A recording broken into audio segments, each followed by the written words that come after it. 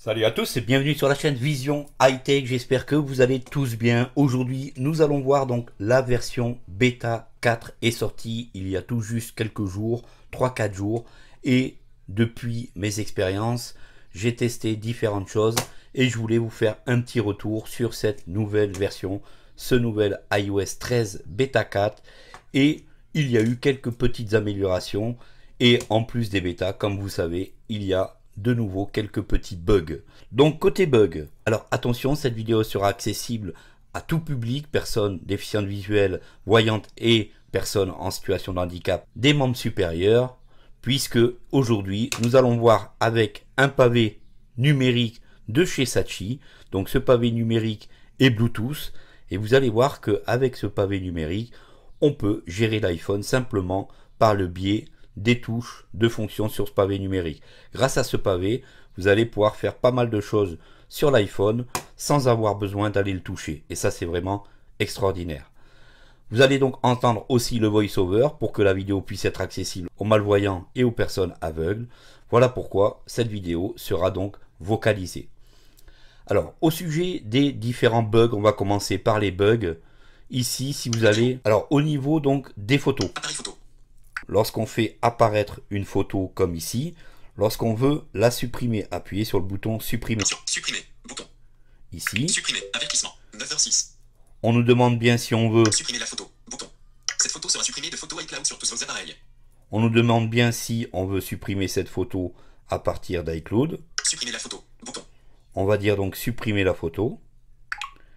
Zéro personne, prendre une photo, bouton. Et là, le petit bug fait son apparition. Au lieu de rester sur toutes les photos, on revient sur l'appareil photo. Donc un petit bug qui va certainement être corrigé dans la prochaine bêta. C'est un peu embêtant puisque lorsqu'on n'y voit pas, il faut retaper sur le bouton à la gauche du bouton prendre une photo et c'est vraiment très long à supprimer beaucoup de photos.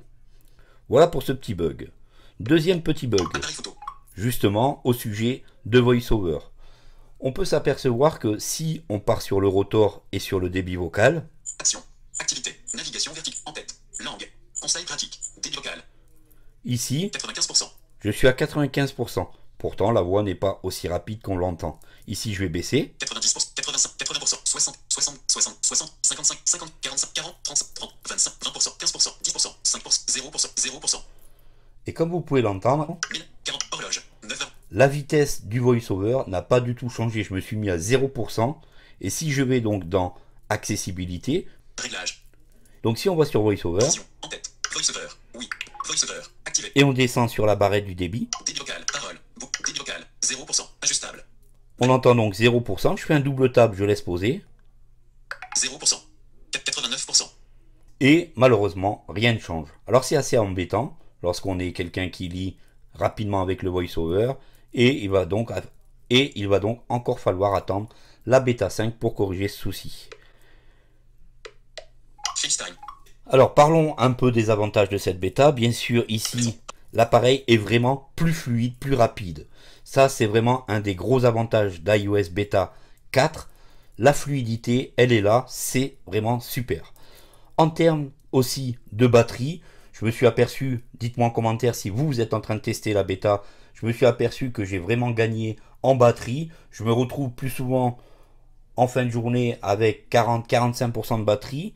De ce côté-ci, c'est vraiment pas mal. iOS 13 Beta 4 nous préserve pas mal sur la batterie. On a gagné aussi au niveau gestuel. Apple sur iOS 13 tend à améliorer le 3D Touch et ils ont remis une nouvelle fonctionnalité dans 3D Touch. Qu'est-ce que cette fonctionnalité?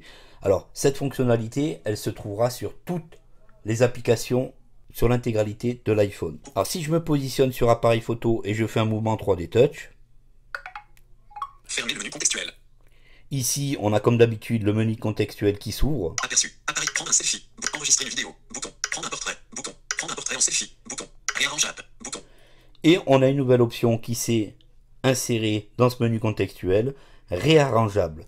Ce qui veut dire que si je valide ce menu, FaceTime, modification en cours, touchez deux fois et maintenez appuyé pour effectuer un, toutes mes applications maintenant sont munies d'une croix. Ça veut dire que je peux soit instantanément les déplacer, soit les supprimer. Ici, modification, note, modification en cours, avertissement, supprimer note, Voilà donc le menu contextuel s'arrange d'un nouveau choix réarrangeable qui va permettre d'aller plus rapidement sur le déplacement de nos applications et sur la suppression de nos applications. Dans les nouveautés aussi très sympathiques, normalement lorsqu'on allait sur App Store. App Store, qu'on ouvrait App Store, App Store. Aujourd'hui, dimanche 21 juillet. auparavant on avait donc les mises à jour qui étaient dans les onglets en bas. Aujourd'hui, c'est plus le cas. Pour aller vérifier les mises à jour, il faut aller tout en haut à droite Mon compte. Bouton. sur mon compte. Une fois que vous rentrez sur mon compte, vous avez cette fenêtre où les mises à jour se trouvent Fortnite. Il y a deux jours. dessous. Donc, voilà comment aller vérifier les mises à jour dans iOS 13. Mais comme Apple s'attache à arranger donc le 3D Touch, ici, on va moins se compliquer la vie. Si on se positionne App Store. Touchez deux fois l'écran rapidement pour ouvrir. sur App Store, on fait un 3D Touch. Une fois qu'on a fait donc notre 3D Touch, Fermez le menu contextuel. Aperçu. App Store. on a notre fameux menu contextuel qui s'ouvre. Rechercher. Bouton. Utiliser le code. Bouton. Mise à jour. Bouton. Et maintenant, on a mise à jour directement incrémenté dans le menu contextuel. Si on le valide, on arrive tout de suite dans les mises à jour, ce qui évite de faire toutes les manipulations auparavant. Ça, c'est vraiment plutôt génial. Alors, on a d'autres petites améliorations avec des boutons qui ont été modifiés, qui ont été arrondis. Ça, je vais passer puisque c'est pas vraiment très important pour le côté de cette vidéo. Ce qui va être super important aujourd'hui, c'est que l'accessibilité a été encore retravaillée. Et grâce à un pavé numérique Bluetooth, c'est-à-dire juste un pavé numérique sans fil, vous allez pouvoir gérer votre iPhone. Pour cela, on va se diriger sur accessibilité. Accessibilité. Regardons ensemble les réglages d'accessibilité. Réglage. Les fonctionnalités. Une fois dans accessibilité, on va aller sur Physique et motricité. Physique et motricité.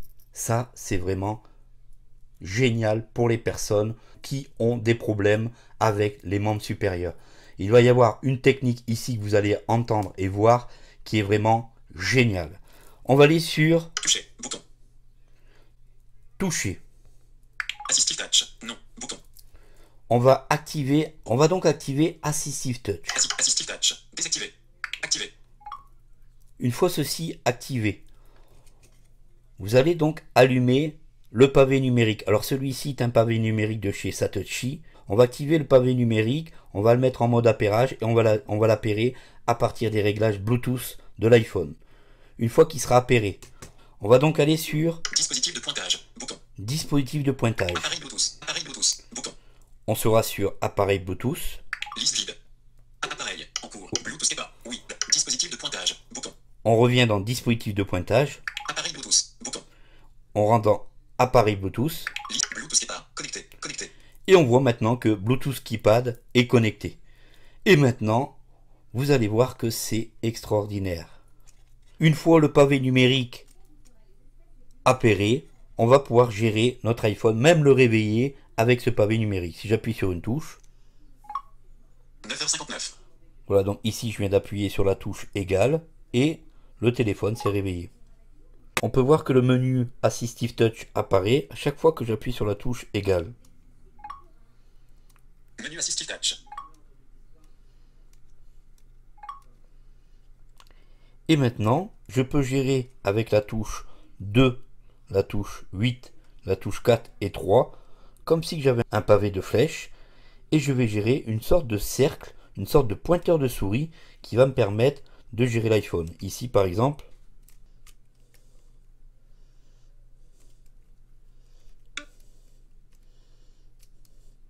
donc ce pointeur bouge comme si j'avais un pavé de flèche. Ça c'est vraiment génial pour les personnes en situation d'handicap moteur. Dites-moi en commentaire ce que vous en pensez de cette fonction, c'est ultra génial. On va aller par exemple activer des applications. Alors vous allez voir que grâce à ce pavé numérique, on va pouvoir gérer, ici je me mets en bas,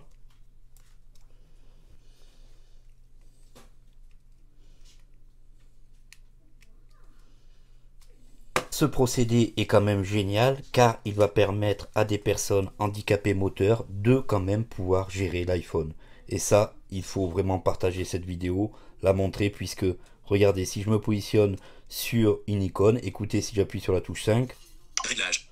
Touchez deux fois l'écran rapidement pour ouvrir. Utilisez 3D Touch pour afficher les actions de l'écran d'accueil. Je viens de me positionner sur réglage et si j'appuie deux fois rapidement sur F5, j'ouvre Réglage. Recherche. Champ de recherche. Touchez deux fois l'écran rapidement pour modifier.